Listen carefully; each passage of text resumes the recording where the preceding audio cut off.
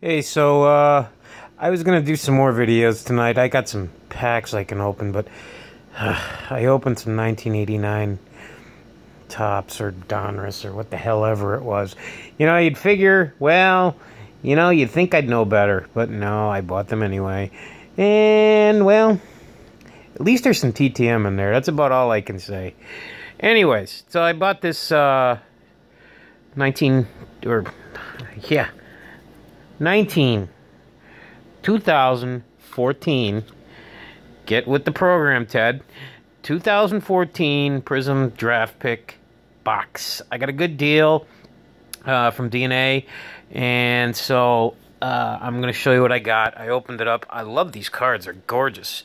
Um, you know, and I look at them and I think to myself, well, someday one of me well, some of these guys might be uh, unbelievable, and these might be worth some cash. But we'll see what happens. Anyways, I want to show you what I got. I got uh, for the sign that for the numbered cards a Cy Sneed of 199. Cy Sneed. I got Jake Peter of 149. Grant Holmes, also of 149. And then I got this one.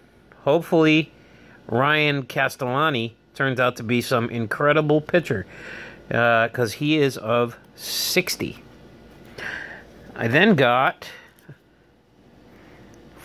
I come up with four autographs in this box. Jake Stinnett, who I don't believe he's numbered. Oh, yes, he is numbered. He is of 60. So hopefully Jake Stinnett ends up being a very good pitcher.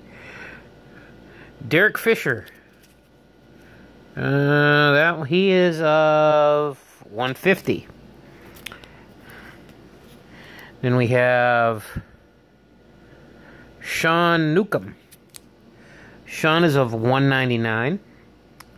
And finally, we have Justus Sheffield, who unfortunately is not numbered.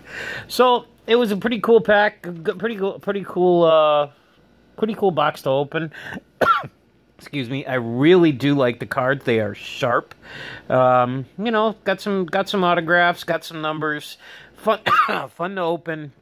Um, if anybody knows because I know my Red Sox. I know my Red Sox prospects very well. If anybody knows these prospects or any of them, let me know in the comments if you you know anything good about any of these guys or if any of these cards you think is going to be good. Um, and uh, yeah, we'll go from there. And I'll see you guys tomorrow because my last video tonight. Have a great night, guys.